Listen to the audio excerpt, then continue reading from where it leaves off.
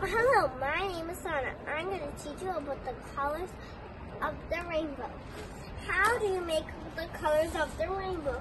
The sun has has um has uh, white light splits the colors into rainbow.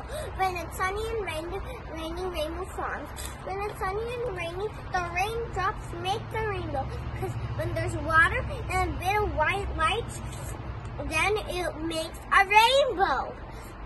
So, did you ever wonder about rainbows? How they are formed? They are formed with the, the drops of the, beau- the, the raindrops when it's sunny and rainy. So, I'll show you how to make one.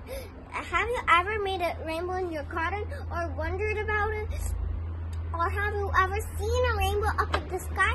If you see it up in the sky, this just in your mind. This should straightly come in your mind. A rainbow has formed with the raindrops are making the rainbow because the sun is having that white light. So, like I said, you can make a, a rainbow with, with a hose in the garden. Make sure that it's a sunny day and it doesn't have to be rainy and sunny.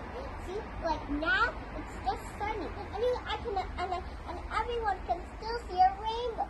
See, and the garden hose should always be facing a, a, a space where um, and the garden hose doesn't have to be facing somewhere that the sky is there without no trees.